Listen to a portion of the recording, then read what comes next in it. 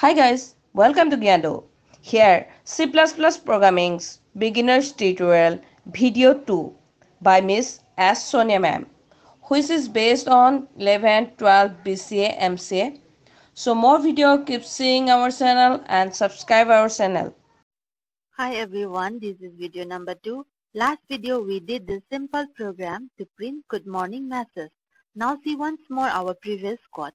Let me explain in more details regarding C++ program different sections so that you can understand clearly.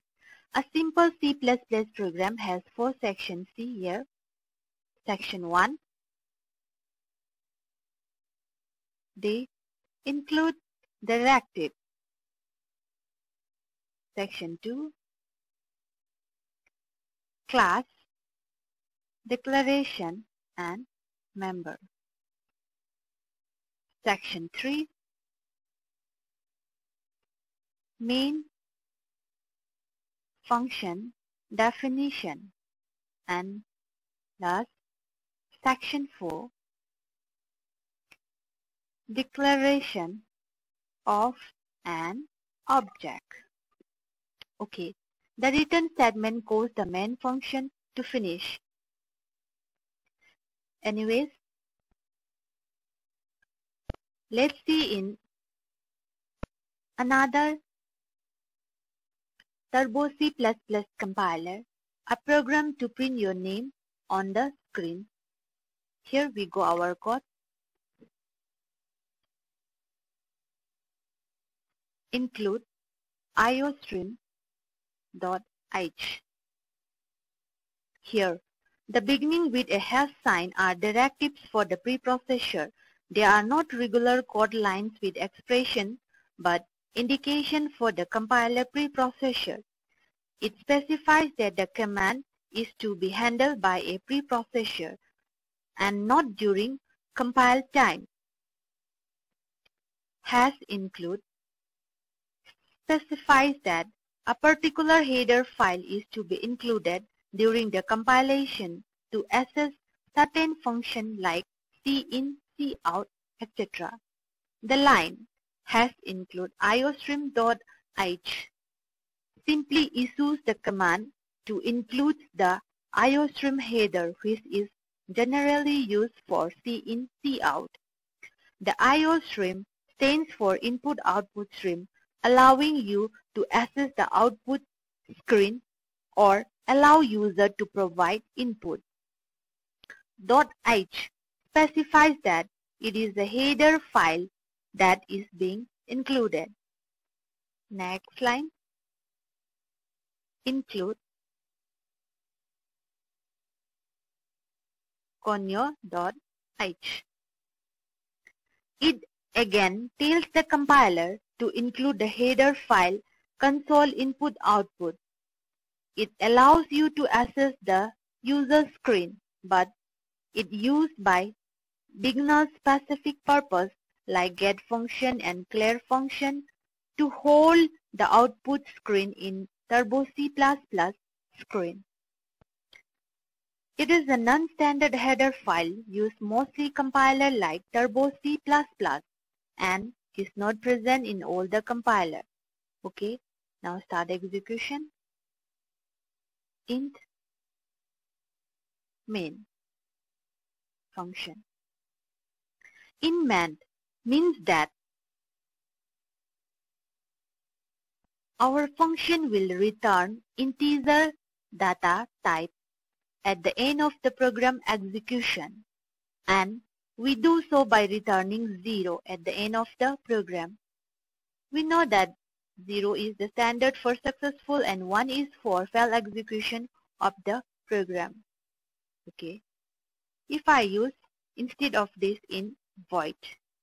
Void main function. Then it indicates that the main function will not return any value. Okay. The main function is the point by where all C++ programs start their executions independently of its locations with the source code. The word main should be followed by a pair of parentheses.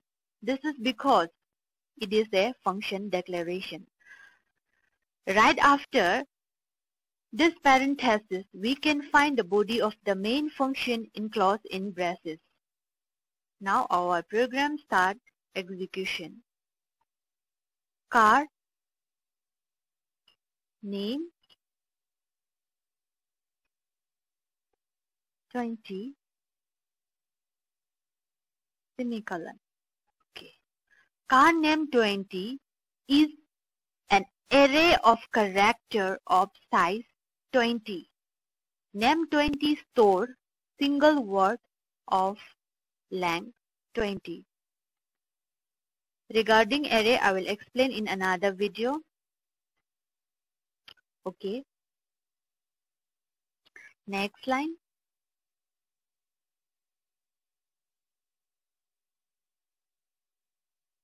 CLRS CR function. This function is used to clear the screen. Okay, next, the out enter your name.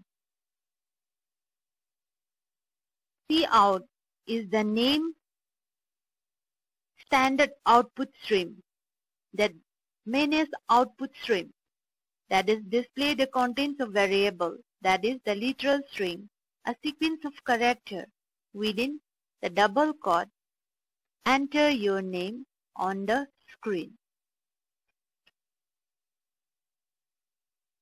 Cout use insertion operator. Before the variable name Next, cin.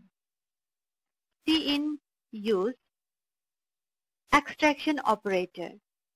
This operator. Extraction operator before a variable. Okay, cin name. Semicolon. It is an input stream and used to read or accept the operations from the standard input device or keyboard. So the entire statement is used to read data through the input device. Again, cout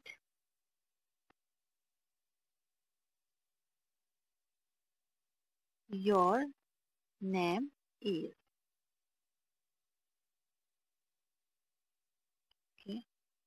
name semicolon okay return 0 never forget semicolon must be included at the end of all expression statement in all C++ program. Now close the bracket. Once the program coding is over, we are ready to compile. Before, let's save our program with the file extension .cpp.